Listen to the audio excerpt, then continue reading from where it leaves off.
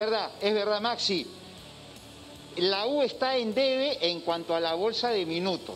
El conjunto Crema estaba sumando con tandazo. Incluso Jan Ferrari hace algunas eh, semanas atrás en una conferencia de prensa eh, manifestaba, manifestaba que el tema tandazo incluso ha repercutido negativamente en la U porque ellos eh, lo, ante una convocatoria de la selección juvenil lo mandaron a Tandazo, pero ha llegado lesionado, una lesión seria, tiene para tres a cuatro meses Tandazo.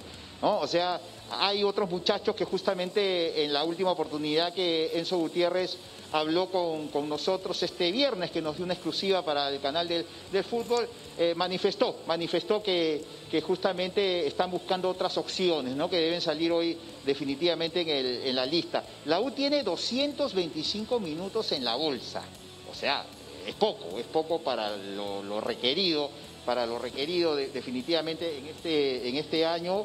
Eh, atención que para este año 2022 para la bolsa son 765 minutos en la apertura y 1020 en el clausura, ¿no? Y la U eh, tiene los minutos que hemos mencionado, definitivamente tiene que sumar, bien lo dices Maxi, así como, como la U hay varios equipos ¿no? que están descuidando este tema y, luego al final del, torneo se ponen las pilas, se empiezan a ubicar a los, a los juveniles, a, los, a los sub-20 por eh, necesidad, ¿no? Y a mí me parece que debería ser esto equitativamente repartido y calculado por los técnicos para irlos distribuyendo los minutos y los, jóvenes valores en los diversos partidos y no tener que de repente poner eh, de un porrazo en los partidos finales a varios jugadores Canal exclusivo de Movistar TV.